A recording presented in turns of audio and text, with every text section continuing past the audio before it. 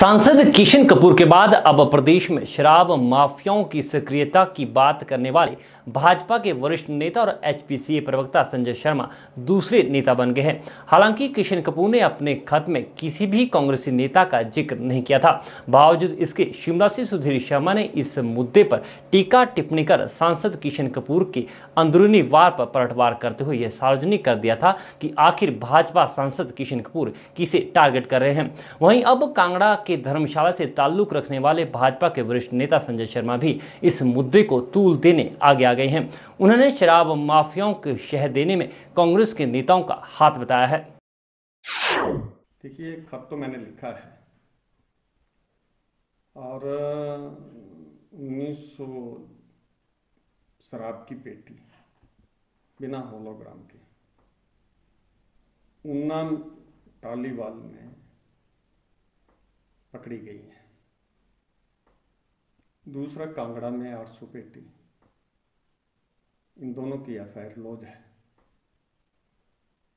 और मैंने ये कहा है कि इससे सरकार को ये जो शराब माफिया है, वो धड़ल्ले से सरकार को चूना लगा रहा है।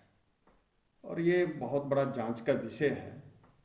इसमें मतलब और भी जो फैक्ट्रीज हैं उनकी जाँच होनी चाहिए उनका ऑडिट होना चाहिए ताकि सरकार को जो सरकार का रेवेन्यू लॉस हो रहा है वो ना हो।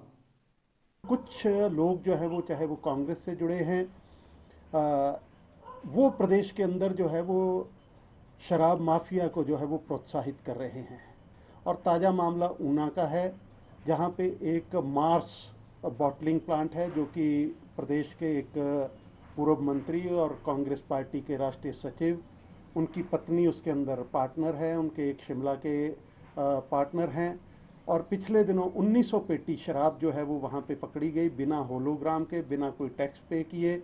और इसी तरह से हमारी जानकारी के मुताबिक पूरे कोविड के लॉकडाउन के दौरान जो है वो पूरे प्रदेश के अंदर इन लोगों ने जो है वो शराब जो है वो सप्लाई की है और इसमें सुनने में आया है कि कुछ अधिकारी भी जो है वो मिल के ऐसे कामों को और ऐसे लोगों को जो है वो प्रोत्साहित और सहायता कर रहे हैं। इसलिए हमारा सरकार से निवेदन है कि आपके प्रयासों को जो लोग बट्टा दिखाने की कोशिश कर रहे हैं, उनके ऊपर नकेल कसने का समय आ गया है और इस मामले में क्योंकि प्रदेश के कुछ अधिकारी और कुछ पुलिस अधिकारियों की संलिप्तता भी ऐसे मामले में हो सकती है, क्योंकि जिलों के अंदर जो है, वो सभी बॉर्डर सील थे। बावजूद इसके ऐसे लोग जो है, वो कैसे प्रदेश के अंदर शराब माफिया मिलकर के जो है, इसको पहुंचाता रहा है? इस सब की जाँच करवाने के लिए इस सारे मामले को सीबीआई को जो है, वो सौंपा जाए, क्योंकि इस विषय की गंभीरता, जब प्रदेश जो है, वो एक एक पाई के लिए जूझ रहा है और कुछ लोग जो है वो प्रदेश को जो है वो करोड़ों रुपए की जो है वो